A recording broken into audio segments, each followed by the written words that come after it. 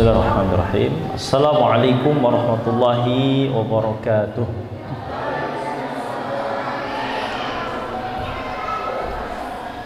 Innal hamdalillah nahmaduhu wa nasta'inuhu wa nastaghfiruh wa na'udzu billahi min shururi anfusina wa min sayyiati a'malina man yahdihillahu fala mudilla lahu ومن يضلل فلا هادي له أشهد أن لا إله إلا الله وحده لا شريك له وأشهد أن محمدا عبده ورسوله لا نبي ولا رسول بعده kaum muslimin dan muslimat yang sama-sama kita mengharapkan ridho serta ampunan Allah Subhanahu wa taala. Alhamdulillah tidak hentinya kita memuji dan bersyukur kehadirat Allah Subhanahu wa taala atas segala limpahan nikmat dan karunia-Nya kepada kita semua. Karena atas nikmat dan karunia dari Allah Subhanahu wa taala lah kita bisa berkumpul kembali di tempat yang mulia ini. Di dalam sebuah majlis ilmu yang merupakan salah satu taman di antara taman-taman surga yang merupakan sebuah jalan yang akan mengantarkan kita menuju surga Allah Subhanahu wa taala. Maka dari itu ya bersamaan dengan turunnya hujan pada kesempatan malam hari ini kita memohon kepada Allah Subhanahu wa taala sebagaimana Allah Subhanahu wa taala telah mengumpulkan kita di tempat ini Allah Subhanahu wa taala mengumpulkan kita kembali kelak di hari akhirat di dalam surga Firdaus al-A'la. Kaum muslimin yang dirahmati oleh Allah Subhanahu wa taala, insyaallah pada kesempatan malam hari ini kita akan melanjutkan kembali kajian kitab Bulughul Maram. Sebuah hadis yang diriwayatkan oleh Al-Imam Ahmad dan Al-Imam Ibnu Majah dari sahabat yang mulia Ibnu Umar radhiyallahu anhuma beliau berkata qala Rasulullah sallallahu alaihi wasallam telah bersabda Rasulullah sallallahu alaihi wasallam uhillat lana maitatani wa damani telah dihalalkan bagi kami dua bangkai dan dua darah. Fa ammal maitatan fal jarad wal hut. Adapun dua bangkai yaitu belalang dan ikan. Maksudnya bangkai belalang dan bangkai ikan. Wa amma daman fal kabidu wat tihal. Adapun dua darah yaitu hati dan limpa hati dan limpa Sekilas tentang hadis ini, ya, di dalam hadis ini ada sisi kelemahan.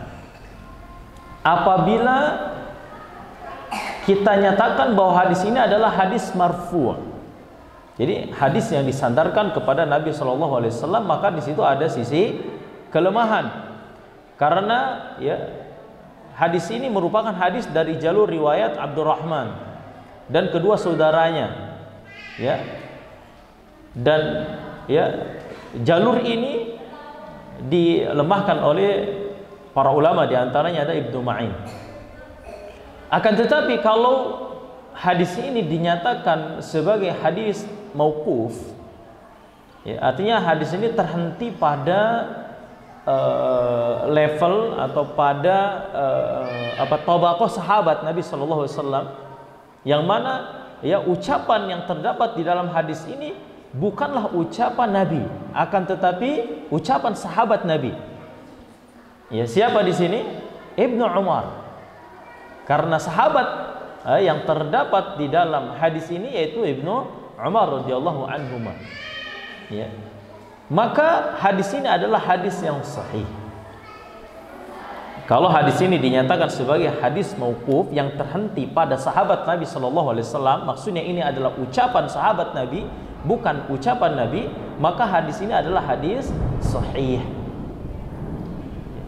Akan tetapi, ya, walaupun hadis ini adalah hadis mauquf, ini sedikit ke mustalah hadis ya, biar kita mengetahui ya sedikit-sedikit tentang ilmu hadis. Walaupun hadis ini adalah hadis mauquf yang terhenti pada sahabat Nabi SAW Ibnu Umar yang yang artinya ini adalah ucapan Ibnu Umar ya berkata Imam Ibnu Hajar rahimahullah taala hiya fi hukmi raf'i. Jadi status hadis ini sama hukumnya seperti halnya hadis marfu. Seperti halnya hadis yang disandarkan langsung kepada Nabi Shallallahu wasallam karena walaupun hadis ini adalah merupakan ucapan sahabat Nabi, tetapi ketika sigotnya ya dengan lafaz uhillalana atau uhillat lana dihalalkan bagi kami. Ini kalau yang memahami bahasa Arab ya kata uhilla ini merupakan fi'lul maudi mabni lil majhul Kata kerja yang menunjukkan perbuatan itu terjadi pada masa yang lampau dalam bentuk pasif. Dalam bentuk pasif. Ya, dihalalkan untuk kami. Ya. Siapa yang menghalalkan? Nah ini. Pelakunya siapa? Subjeknya siapa? Yang menghalalkan itu siapa? Ketika sahabat mengatakan dihalalkan untuk kami dan ya di sini tidak mungkin tertangkap oleh kita semua dari ucapan sahabat ini ya yang menghalalkan ya dua bangkai dan dua darah ini dari ucapan sahabat ini kecuali dari Nabi SAW nggak mungkin. Karena yang berhak untuk menyatakan ini halal ini haram itu adalah syariah. Dan syariah itu imma Allah Subhanahu wa taala ya atau Nabi Shallallahu alaihi wasallam selaku pembawa risalah wahyu dari Allah Subhanahu wa taala maka dari itu sama halnya ya hadis ini seakan-akan adalah ucapan Nabi Shallallahu Alaihi Wasallam. Hanya saja bentuk sigotnya datang dalam bentuk pasif dalam bentuk majhul.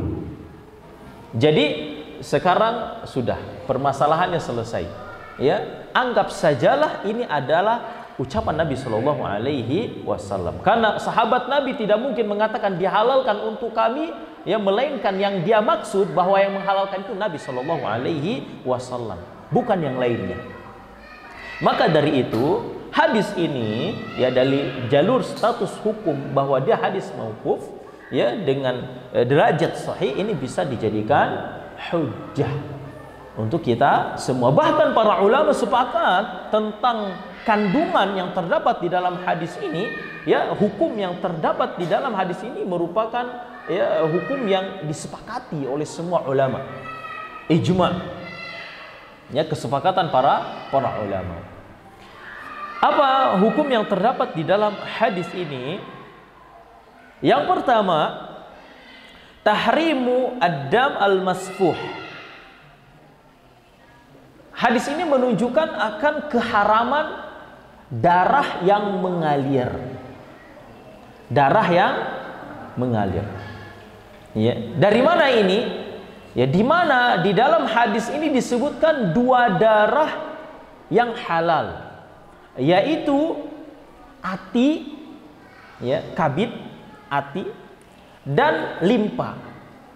Ya, kalau ati jelas ya kita tahu. Limpa itu dia bentuknya seperti biji-bijian, seperti biji-bijian. Dia darah, dia darah dan biasanya beriringan, ya dekat dengan dengan hati. Ya, hati itu darah. Hati itu darah, limpa pun darah. Tetapi hati dan limpa ini merupakan darah yang tidak mengalir.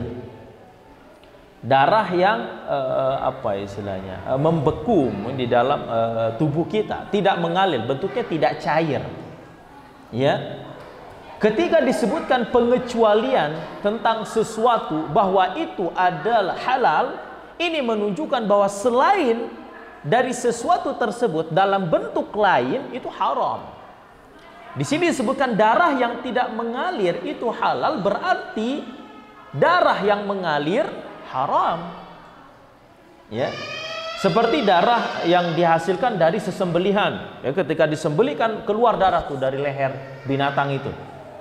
Itu nggak boleh dikumpulkan darah itu. Di sebagian tempat darah itu dikumpulkan. Disediakan wadah baskom di bawahnya. Lalu dibiarkan membeku.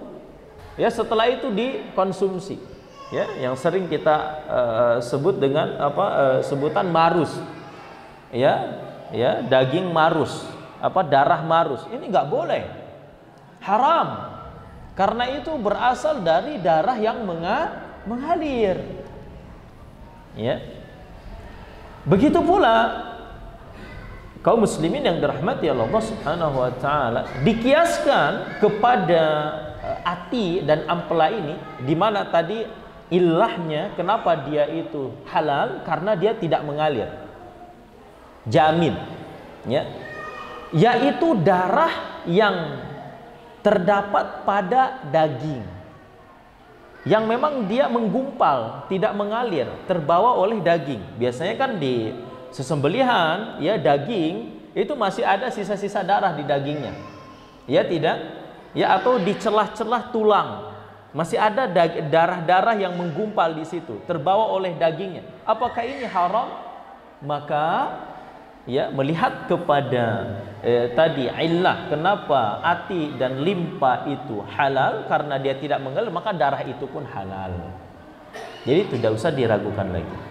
Itu halal kias terhadap ati dan limpa. Adapun darah yang mengalir sekali lagi maka itu haram. Walaupun darah tersebut berasal dari binatang yang halal. Ya darah kambing darah sapi darah kerbau darah ayam dan yang lainnya. Ya, kalau yang mengalir haram. Ya, dan memang secara uh, kesehatan di dalam darah itu kan banyak sekali bakteri, virus, kuman. Ya, apalagi kalau binatang tersebut memang memiliki penyakit dan itu sangat berbahaya. Sangat berbahaya bagi tubuh kita. Walaupun memang rasanya darah itu enak.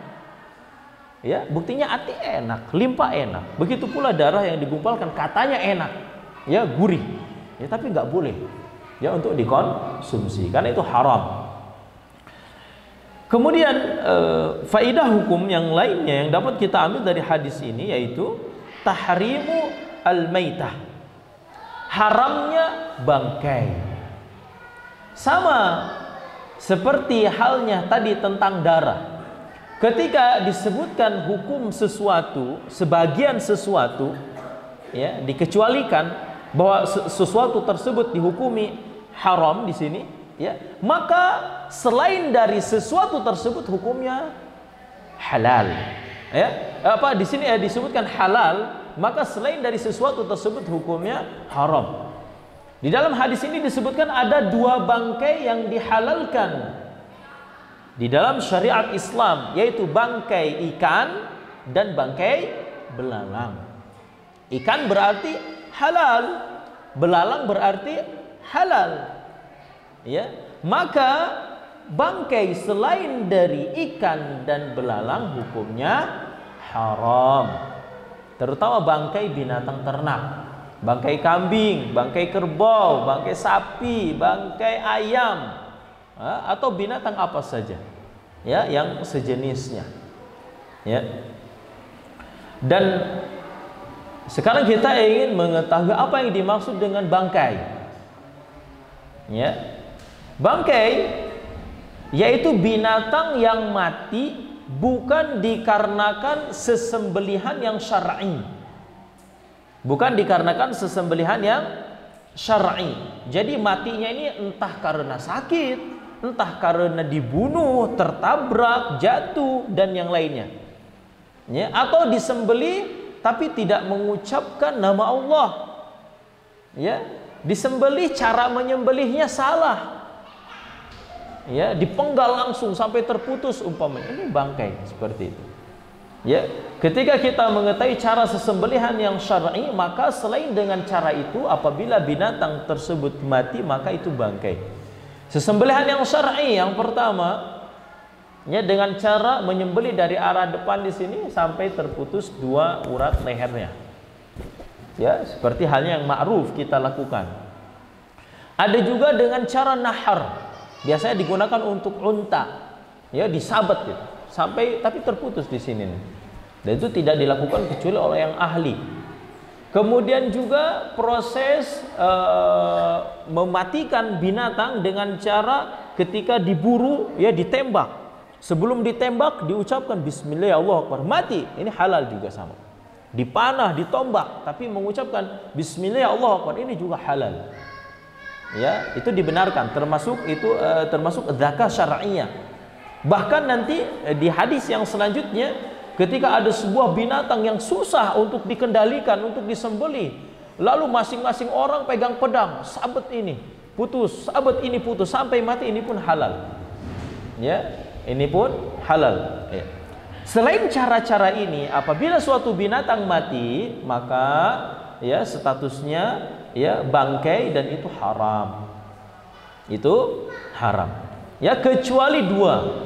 Kecuali apa? Ikan dan bela belalang. Belalang ikan ya mau mengucapkan bismillah atau tidak dalam membunuhnya halal. Dia mau mati dengan sendirinya, mati karena dilempar, mati karena dipukul kepalanya, ini halal.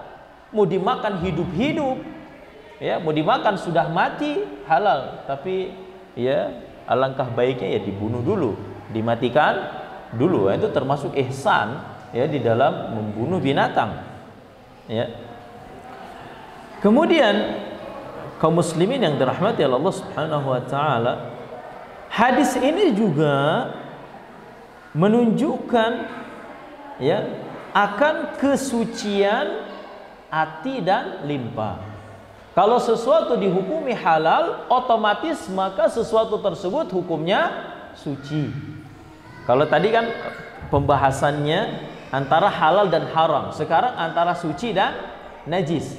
Ya, sekarang kalau ada pertanyaan, apakah hati dan limpa ini suci atau najis? Maka kita katakan hukumnya suci. Kaidahnya, kaidahnya sesuatu yang halal otomatis suci. Sesuatu yang dihalalkan oleh syariat maka otomatis hukumnya suci ya maka dari itu begitu pula bangkai belalang dan bangkai ikan ya karena tadi bangkai ikan itu hukumnya adalah halal ya secara otomatis hukumnya juga apa? Suci. Kalau kita memiliki kolam di situ ada ikan-ikan lalu mati. Ya ternyata dengan kematian ikan tersebut airnya menjadi bau bangkai. Airnya menjadi bau bangkai tetapi warnanya ya uh, tidak berubah drastis sehingga masih disebut sebagai air. Kira-kira apa hukum air tersebut? Boleh tidak digunakan untuk wudhu boleh tidak digunakan untuk mandi? Bau bangkai ikan nih bau menyengat sekali.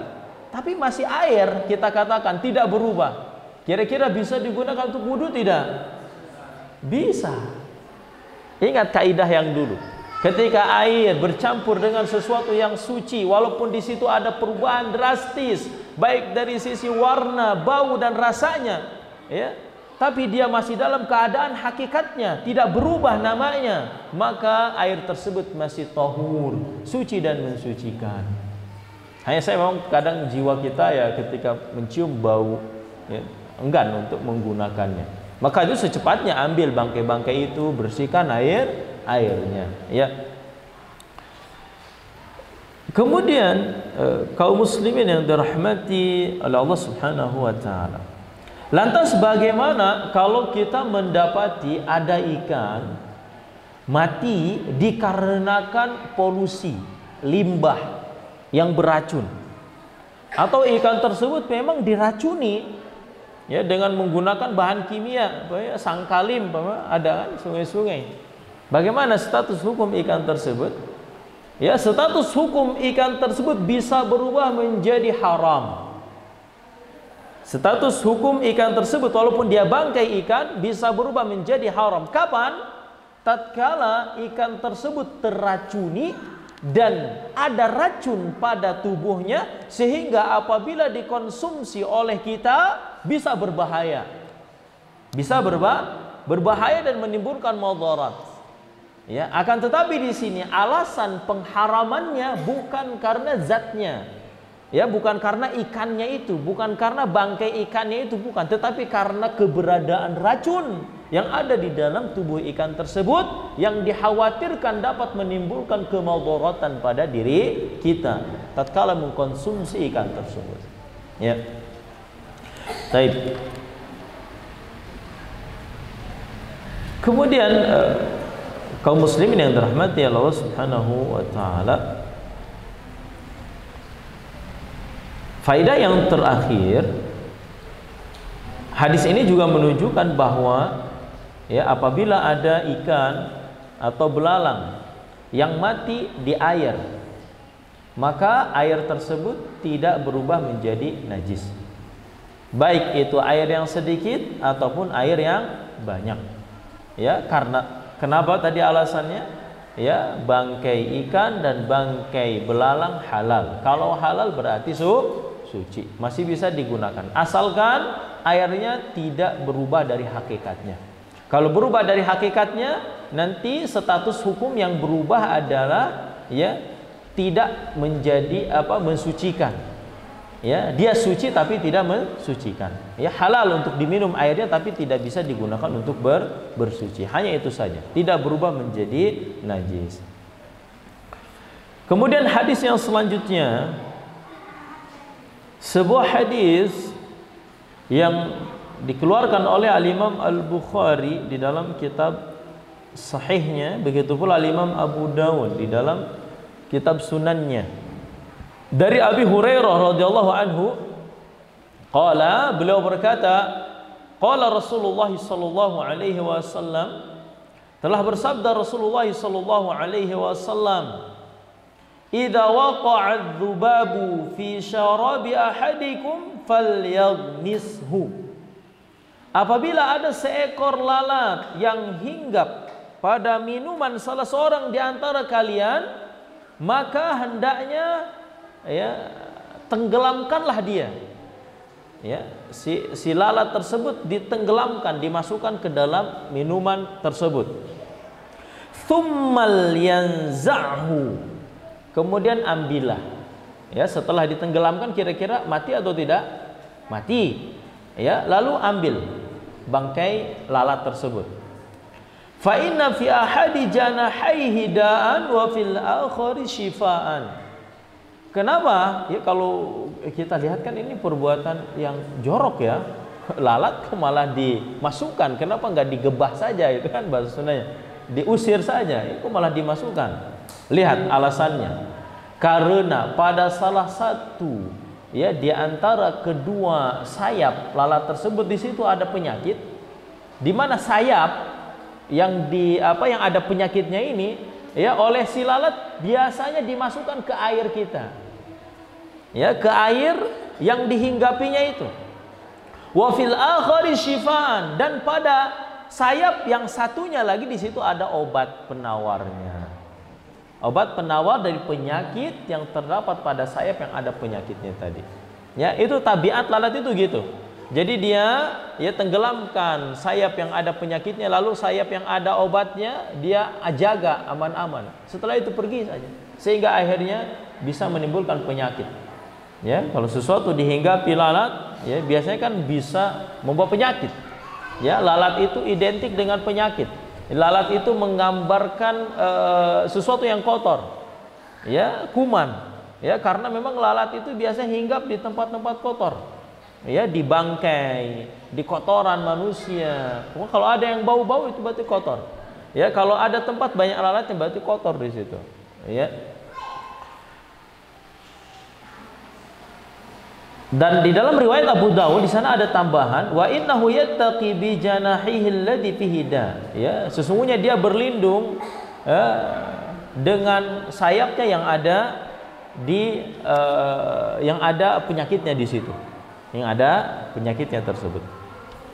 Taib, kaum muslimin yang dirahmati Allah Subhanahu wa taala, Faidah apa yang dapat kita ambil dari hadis ini? Yang pertama, taharatu dzubab fi hali hayatihi wa mamatihi. Wa innahu la yanjuz ma waqa fihi min sa'ilin aw jamidin. Hadis ini menunjukkan akan kesucian lalat. Ingat di sini uh, yang kita bicarakan sisi hukum suci atau najis, bukan halal haram. Lalat haram. Lalat hukumnya haram. Ya, apakah setiap yang haram itu najis? Nah ini dia. Tidak. Tidak setiap yang diharamkan oleh syariat itu najis, tidak. Ya, di antaranya ini lalat. Lalat hukumnya haram, tetapi dia tidak najis. Ya. Dan dalilnya ini. Ya, hadis ini menunjukkan akan kesucian lalat baik dia dalam keadaan hidup ataupun dalam keadaan mati dan apa pun yang dihinggapi oleh lalat tidak berubah menjadi najis. Tidak berubah menjadi najis. Ya. Kenapa? Ya sisi pendalilannya bagaimana?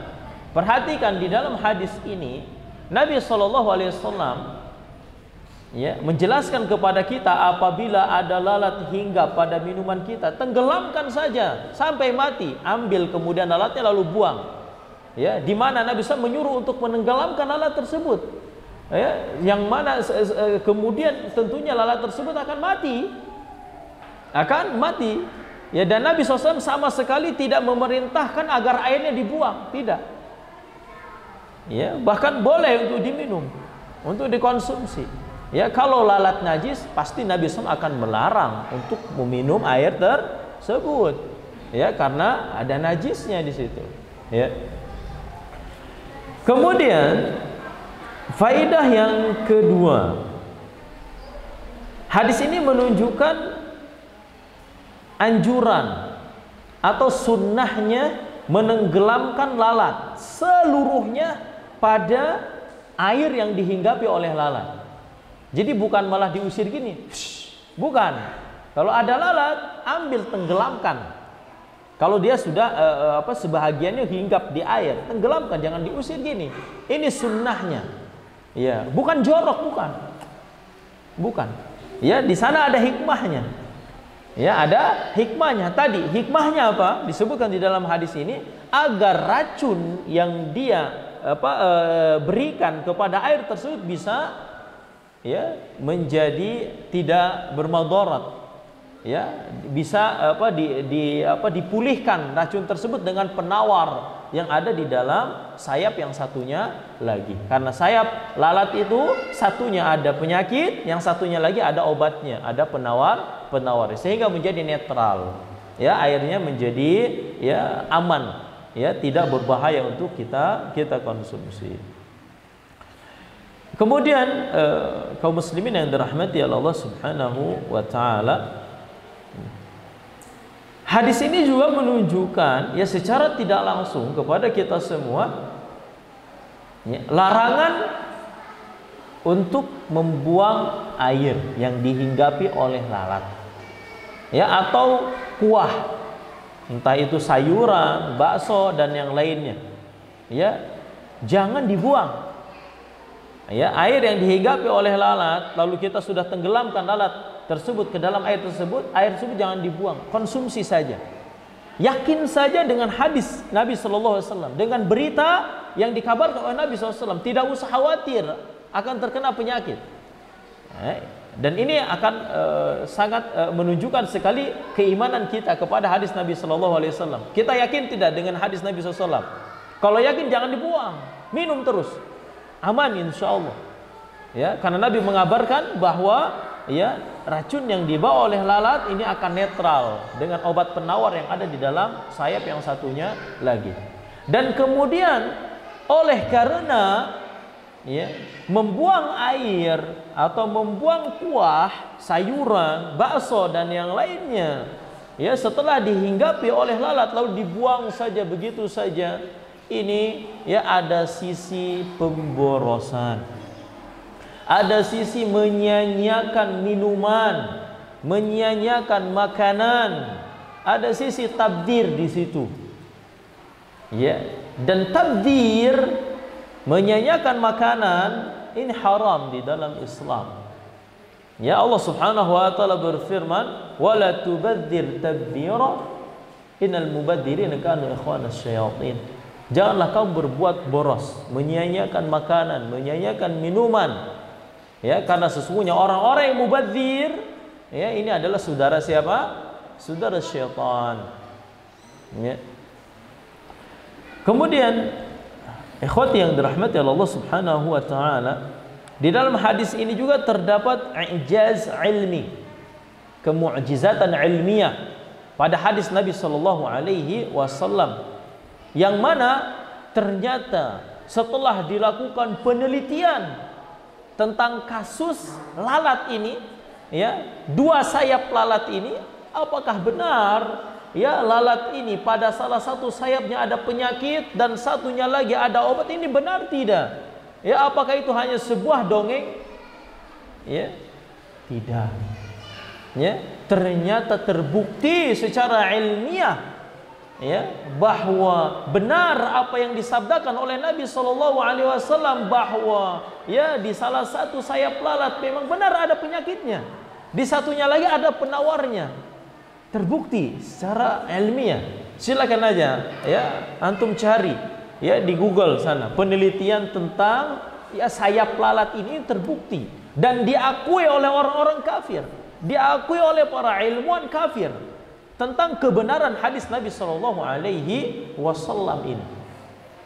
Ya. Kalau orang kafir saja mempercayai dan membuktikan, ya kita lebih-lebih harus lebih percaya ada penelitian atau tidak ada ketika kita mendapatkan sebuah kabar dari Nabi Shallallahu Alaihi Wasallam walaupun itu tidak terbukti secara ilmiah kita harus beriman mempercayai 100% dan tidak boleh meragukan sedikit pun apa yang diberitakan oleh Nabi Shallallahu Alaihi Wasallam. Itulah keimanan kita kepada Rasulullah Shallallahu Alaihi Wasallam. Ya. Jadi kalau ada sebuah syariat, kita lebarkan sedikit pembahasan. Disampaikan oleh Nabi Shallallahu Alaihi Wasallam kepada kita, lakukan ini, jangan lakukan ini. Apa sikap kita? Imani, percayai, turuti, taati. Walaupun kita tidak mengetahui hikmah di balik itu. Walaupun kita tidak mengetahui kemaslahatan secara zahirahnya bagaimana, pokoknya laksanakan saja. Karena setiap apa yang diucapkan oleh Nabi Shallallahu Alaihi Wasallam pasti benar, tidak mungkin salah. Karena setiap apa yang disyariatkan oleh Allah Subhanahu Wa Taala melalui lisan Nabi Shallallahu Alaihi Wasallam pasti membawa maslahat. Tidak mungkin membawa kemadorotan. Setiap perintah yang diperintahkan Nabi SAW pasti ada maslahatnya. Setiap larangan yang dilarang oleh Nabi SAW pasti di balik itu ada madarat yang mengintai ya orang yang melanggar larangan tersebut. Ya, loh kenapa sih diperintah untuk memelihara jenggot? Kan saya sebenarnya lebih ganteng nggak nggak berjenggot gitu. Seperti itu kan? Nabi SAW mengatakan arkhul liha, ya biarkan jenggot tumbuh. Arkhul liha. Ya, biarkan tumbuh. Nabi SAW jenggotnya sampai ke dada ya panjang. Kenapa kok? Ya, ada hikmahnya di sana. Ya, terkadang kita temukan itu, terkadang kita tidak temukan. Kenapa sih harus e, berkerudung besar? Ya, kan gerah gitu. Ya, kenapa harus menutup wajah, bercadar? Kenapa? Ya, laksanakan saja. Itu perintah Allah Subhanahu wa taala. Ya, sekarang setelah muncul corona terbukti kan hikmahnya kenapa harus menutup wajah, harus memakai cadar. Ya, salah satunya untuk menjaga kita dari vi virus itu kan. Ya, ini bagi wanita, ya. Tapi lebih dari itu, ya, sebenarnya ketaatan lah, keimanan kita lah yang harus kita kedepankan. Ketika kita berhadapan dengan nas, dengan syariat Allah Subhanahu wa taala. Kemudian kaum muslimin yang dirahmati Allah Subhanahu wa taala, di antara faidah yang dapat kita ambil dari hadis ini pula di sini uh, Syekh Al-Bassam uh, beliau mengatakan qasa al-ulama ala taharati dzubab kullama laysa lahu nafsun saila min ya. Para ulama mengkiaskan akan kesucian ya, dari kesucian e, lalat ini yaitu setiap binatang yang tidak memiliki darah yang mengalir. Yang tidak memiliki darah yang mengalir dari e, jenis e, serangga ya seperti umpamanya lebah nyamuk semut dan yang lainnya. Binatang-binatang yang memang tidak ada darahnya tidak ada darah yang mengalirnya. Ya apabila hinggap di makanan kita ya lalu mati di situ maka ini tidak akan merubah kesucian makanan tersebut. Ya kita memiliki kopi di situ banyak semutnya. Ambilin saja semutnya buangin kopinya minum.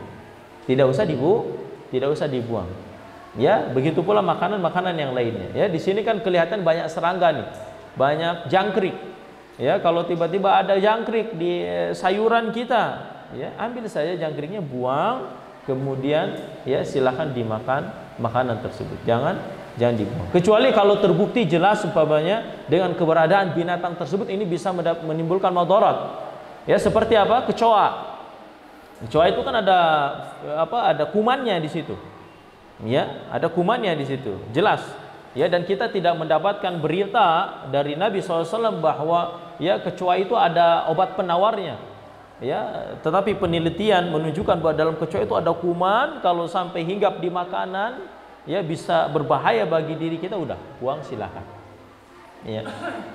Kemudian lantas bagaimana kalau ternyata lalat ini hinggapnya di sesuatu yang tidak cair di makanan yang kering pokoknya hinggap di nasi ya kan tadi dia bawa penyakit ya kalau air ya dia kan penya, si, si, si penyakitnya ini bisa menyebarkan ke seluruh air. Kemudian dicelupkan sayap yang satunya lagi penawarnya pun bisa menyebar secara merata. Kalau di makanan bagaimana?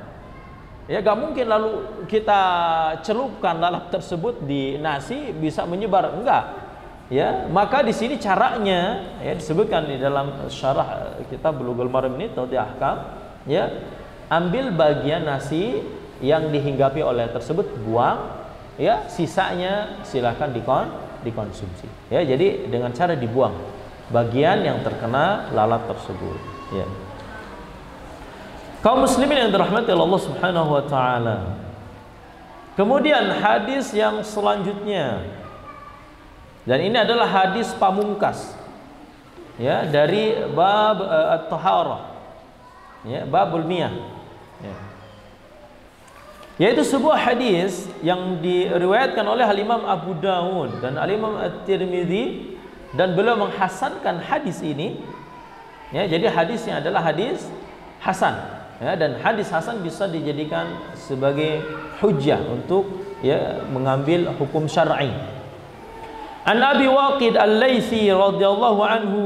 Dari Abi Waqid Al-Laitsi radhiyallahu anhu qol beliau berkata Qala Rasulullah sallallahu alaihi wasallam telah bersabda Rasulullah sallallahu alaihi wasallam ma quti'a minal bahimati wa hiya hayyatun fahuwa maitun apa pun yang dipotong dari binatang ternak sementara dia dalam keadaan hidup maka Bagian yang dipotong tersebut hukumnya adalah bangkai. Ya, hukumnya adalah apa? Bangkai. Jadi kalau di sana ada binatang ternak, kambing atau sapi, kerbau, oh kerbau ini lihat ekor kerbau gitu, goyang-goyang, kebayang sop buntut. Potong buntutnya, ya lalu diolah jadi sop buntut ini hukumnya apa ya kerbaunya hidup sana apa sapinya hidup dibiarkan hidup dia butuh buntutnya aja ya terbayang sop buntut kelihat ketika lihat buntut sapi goyang-goyang itu dipotong Apa hukum buntut tersebut? Haram. Dan statusnya sama seperti bang bangkai. Ini dalilnya. Ya. Pengen daging. Ya. Punya kambing. Tapi nggak butuh banyak dagingnya. Potong kakinya. Ya. Lalu biarkan hidup ya kambingnya dengan tiga kaki sisanya. Ya. Nanti suatu saat butuh lagi potong lagi satu kakinya. Dibiarkan hidup. Nuntut. Ini nggak boleh. Haram. Ya.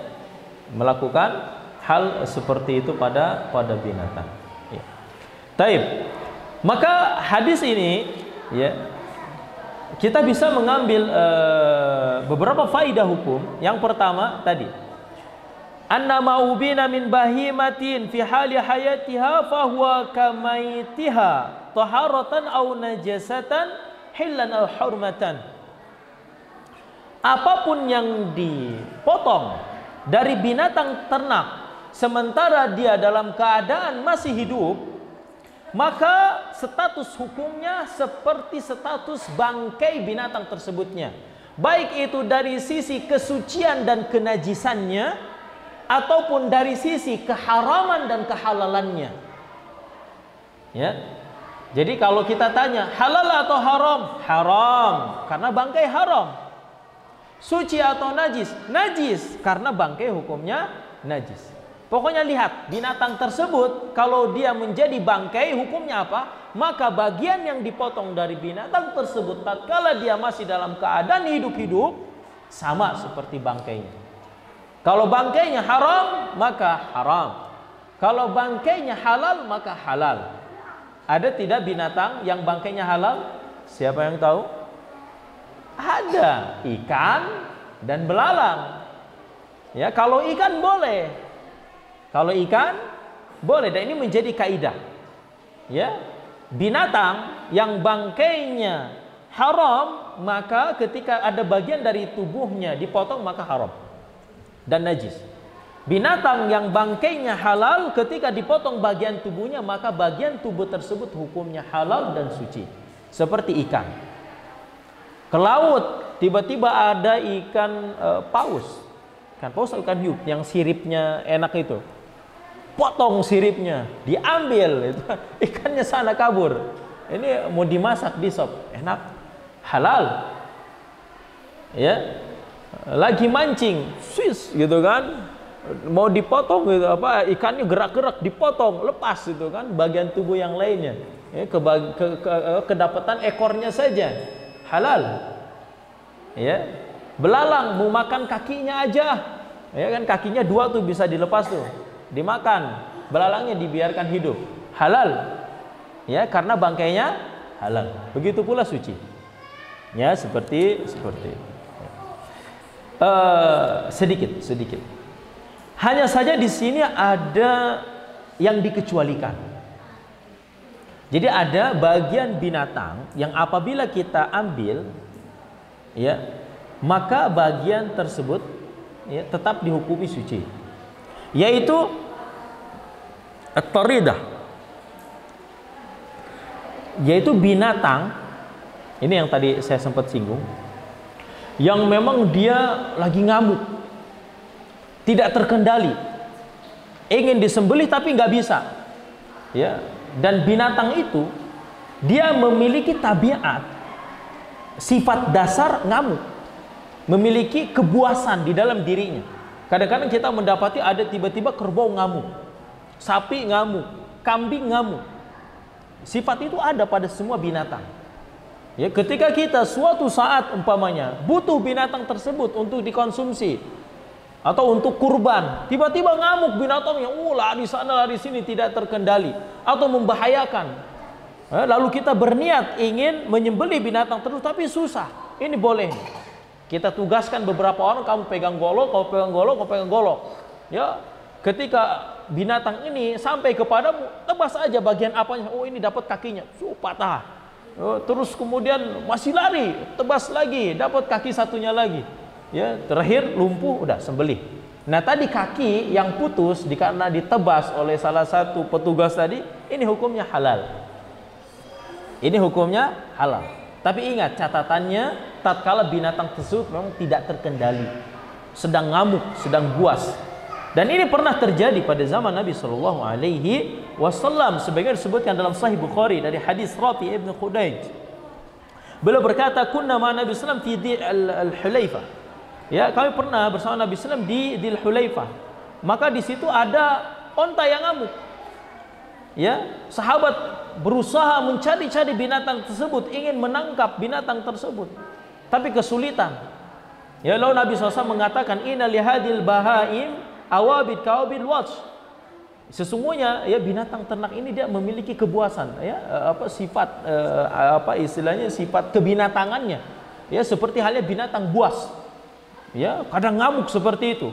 Famanad da'aliku fasnau biha kada. Apabila dia sedang ngamuk ya susah untuk kalian kendalikan maka lakukanlah hal seperti ini. Ya, maksudnya di silahkan potong bagian mana mana pun kemudian yang kedua yang dikecualikan yaitu ghazalu al misk ya rusa misk. Ya rusa yang memang dihasilkan darinya minyak wangi. Jadi ada jenis rusa disebutkan dalam uh, al-mausu'ah fi hayatil hayawan wal mausu'ah al-arabiyah dalam kitab Hayatul Hayawan dan uh, ensiklopedi Arab. Ya disebutkan di situ bahwa ada jenis rusa warnanya hitam dan memiliki taring yang putih ya. Rusa ini di bagian pusarnya di sana ada kelenjar. Kelenjar ini pada beberapa periodik waktu dia terlepas bisa ya seperti halnya kuku kita ya atau rambut kita. Jadi seperti bagian tubuh ini ya. Nah si kelenjar ini apabila kita ambil dari rusak tersebut ini hukumnya suci, tidak najis. Walaupun rusak termasuk dalam jenis kategori sama seperti binatang ternak, binatang yang memiliki empat kaki. Ini dikecualikan, ya karena di sana ada riwayat, ya dari para salafus salih tentang kesucian ya eh, apa kelenjar dari rusa ini. Ya dan katanya katanya aroma bau dari uh, apa kelenjar ini sangat luar biasa harumnya. Sangat luar biasa harumnya. Wallahu taala alam bisawab mungkin yang eh, ini yang dapat kami sampaikan pada kesempatan malam hari ini. Mudah-mudahan bermanfaat. Barakallahu fikum. Assalamualaikum warahmatullahi wabarakatuh.